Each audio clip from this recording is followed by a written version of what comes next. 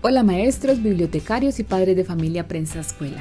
Como es tradicional, esta semana vamos a estar conversando sobre la información de actualidad para darles algunas ideas, estrategias para trabajar en el aula de clase, en la biblioteca o en la casa. Esta semana vamos a hablar de mariposas, cucarrones y moscas y de otros insectos que pueden estar por ahí. Vamos a estar hablando sobre este artículo publicado el 2 de octubre del 2022 y escrito por Laura Franco Salazar, titulado Mariposas, cucarrones, moscas, un millón de insectos disecados en un laboratorio antioqueño.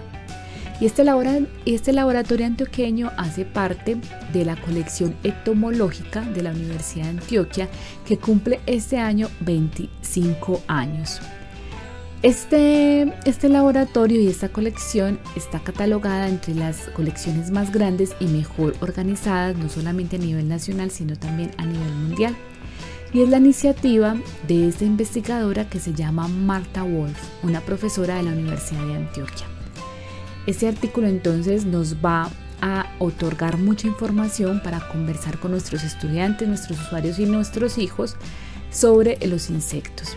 Y queremos que además de leer el artículo podamos entonces explorar a detalle las fotografías que acompañan este artículo porque son realmente bellísimas y porque las consideramos como una joya de esas que no vemos generalmente eh, con ellos. Entonces la idea es leer el artículo eh, pausadamente, pero también detenernos en las fotografías para conversar con ellos.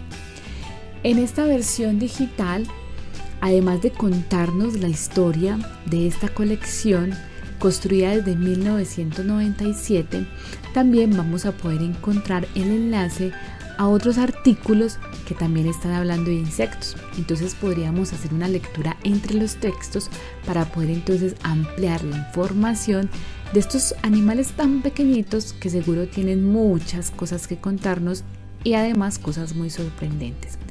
Entonces la invitación es a que esta semana podamos conversar sobre insectos. Los invitamos entonces no solamente a explorar este, este, artículo, sino a que descubran entonces qué pasa con esos otros artículos que nos proponen dentro de este y a que ustedes visiten el blog de Prensa Escuela para que descubran todas las actividades que a nosotros se nos ocurrieron a partir de esta información, pero también para que ustedes puedan crear otra información, otras actividades a partir de esta. Los esperamos el próximo mes en otra estrategia Prensa Escuela. Chao.